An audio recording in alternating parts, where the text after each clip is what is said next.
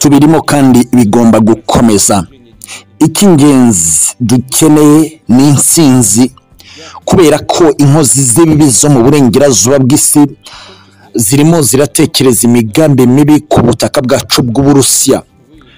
Ndabwira indwanyi z'uburusiya ziri ku butaka bwa Ukraine mu bikorwa bidasanzwe by'igisirikare gushyira imbaraga muri operasiyo za buri munsi. Mu masaha atandatu ashize nibura ibyo twe twasabye umugaba w'ingabo zacu ziri ku butaka bwa Ukraine General Sergei Slovekin byakozwe. N'ubundi turakomeza tubashyireho igitutu cyo kugira ngo mukore n'ibindi. Twapanze bigomba kugerwaho mbere y'itariki ya mirongo itatu n'imwe z'uku kwezi kwa cumi na kabiri y'umwaka. Ndababwira ngo icy'ingenzi dukwiye nk'uburusiya. Ni uko tugera ku mugambi watwinjije muri icyo gihugu mu kwezi kwa kabiri k'uyu mwaka. Ndabwira abakomanda batandukanye b'imitwe itandukanye y'igisirikare cyacu mube maso kandi ibyo dusaba bikorwe mu buryo twe twifuza. Igikoresho cyo mu burengerazuba bw'isi cyatwijunditse kivuga ko hari ibikorwa tugamije bibi. Ariko twebwe ntabwo turi kwinjira mu bice birimo abasivili. Ahubwo twe turashaka ufite umututu w'imbunda ngo ari we duhangana nawe. Kubera ko bari kudutinya bari kujya mu basivile bakabiraramo bakabica ngo bikunde byemerwe ko ari abarusiya babikoze. Ariko ntabwo ibyo bintu twabikora. Ibihugu byo mu burengerazuba bw'isi ubufaransa ni bwo buri ku isonga mu gucura poropagande zigamije kwangisha uburusiya ibikorwa biri kubera ku butaka bwa Ukraine. Ntabwo twari guhangana n'inkozi z'ibibi zishyize hamwe hatarimo abakwiye kuzana uburozi mu rugamba nk'abo bagamije guhimba ibinyoma ku gihugu cyacu.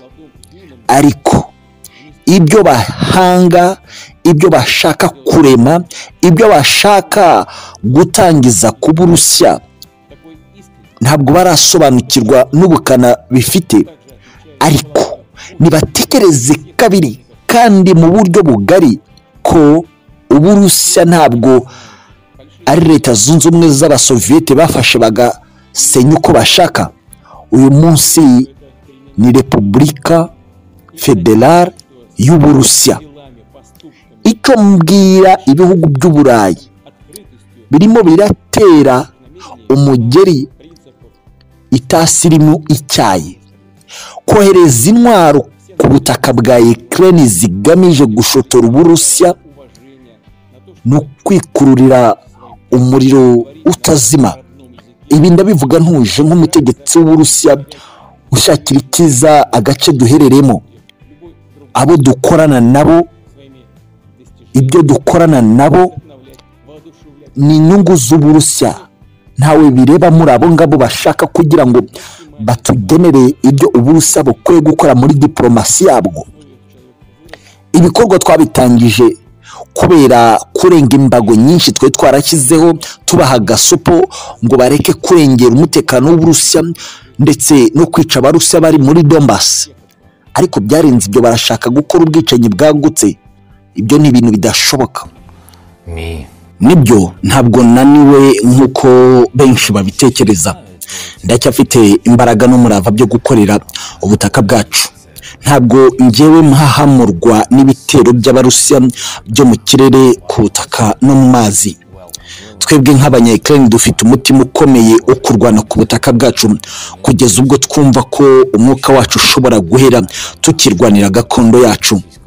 Njye ibi ndabivuga kubera ko nizeye ingufu z'igisirikare cyacu.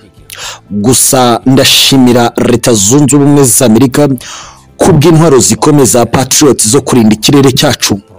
Ibiriya ni ibigaragaza ko kuba turi kubona inkunga ikomeye ya gisirikare ituma dushobora gukumira misile ziraswa n'indege z'intambara z'uburusiya ni ikintu kitugarurira morali iyo turi kubyumva kandi tukanazakira mu biganza byacu. Abarusiya icyo baturusha ni ikintu kimwe gusa. Ni ukuturusha morali ijyanye n'ibikoresho bigezweho bigatuma badusumbya imbaraga n'umuvuduko uhambaye ku mirongo y'imbere ku rugamba. Ako twebwe nk'abanyayikirere kuba leta zunze ubumwe za amerika nk'igihugu gikomeye ku isi igihugu cyatangiye kuduha imfashanyo ku itariki ya makumyabiri na gatanu y'ukwezi kwa kabiri. Ni ibintu bikomeye twishimiye cyane cyane. Umunezero wacu nk'abanyayikirere ni uko ibice twambuwe mu mizo ya mbere y'urugamba ah, tugira gutya tukabibona bisubiye mu biganza byacu ku bw'imbaraga z'abenegihugu gusa. Ndabivuga ngendeye ku kuba leta zunze ubumwe za amerika yaratubaye hafi mu mizo ya mbere y'urugamba mu mezi yo hagati kugeza n'ubu. Kuba iduha imfashanyo ikomeye ya patriot air defense force ni ibikomeza kutubwira ko ubushobozi bwacu ari ikintu twizeye kandi kizatugeza kuri byinshi. Tuzakomeza gutera imbere uko byagenda kose bivuye ku muhate wacu kandi nzi neza ko tageti yacu ari ukugira ngo tubashe gusubiza inyuma umwanzi agasohoka ku butaka bwacu bwa Ukraine. Vladimir Putin arohereza abajenerali bakomeye mu gisirikare cy'uburusiya ku butaka bwacu kugira ngo yigarurire ubutaka bwacu ku bubi no ku bwiza. Ariko reka nkubwire ndavuga gato ku makuru yakwirakwijwe n'ibinyamakuru bya propagande byegamiye mu kwaha kw'igisirikare cy'uburusiya ko hari umujenerali wabo ngo twashatse kwica. Ntabwo dushaka guhitana umuntu wo kuri urwo rwego byatunanira. Ariko icyo ntabwo ari cyo cy'ingenzi. Tugize gutyo niba bari gukoresha indege magana atatu mu kirere cyacu tugahitana umuntu wo kuri urwo rwego. Tuzi neza kandi turabyemeza. Bigendanye n'uko bo bateye baratakaza gato bagakuba. Ubushobozi bakoresha ku rugamba. Bahita bohereza noneho indege magana ane. Ntabwo rero dushaka kuba dutuma tuba imbarutso kuri bo ituma bongera ubushobozi mu kirere cyacu no ku butaka. Twebwe icyo dukeneye ni uko turwana kandi bagasubira inyuma. Imbarutso y'ukuri ishobora gutuma Vladimir Putin atuma ingabo ze ziva ku butaka bwacu.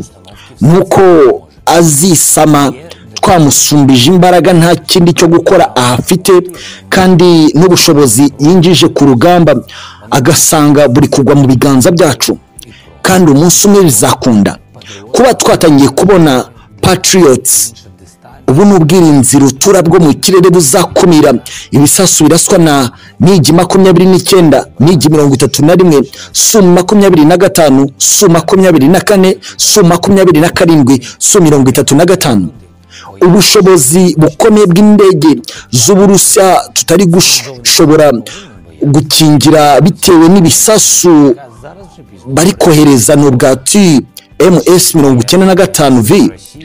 Gusa tuzi neza ko uko bizagenda kose ikirere izagera ku ntsinzi. Uyu munsi ibitero by'uburusa byari bidushegeshe cyane ku kigero giteye ubwoba kubera ibihe by'ubukonje turimo bakibasira sitasiyo z'amashanyarazi.